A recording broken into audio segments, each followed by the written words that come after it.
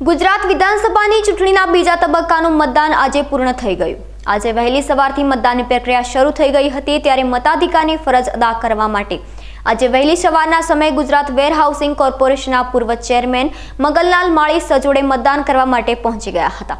Deesa Dantiwada colony ખાતે આવેલી પ્રાથમિક શાળામાં સામાન્ય મતદારો સાથે કતારમાં ઊભા રહીને મતદાન કર્યું હતું અને ત્યારબાદ તમામ નાગરિકોને મતદાનની ફરજ અદા કરવા માટે અપીલ કરી હતી. મિત્રો લોકશાહીનું મહાપર્વ એટલે મતદાન. મેં મારો વોટ નાખ્યો છે.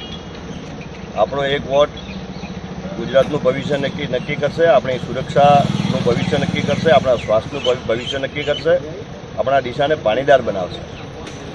મેં વોટ કમળને આપ્યો છે. તમે પણ કમળને વોટ આપો. જલ્દી કરો, પરિવાર સાથે આ પર્વ ઉજવીએ. ભારત માતા કી જય.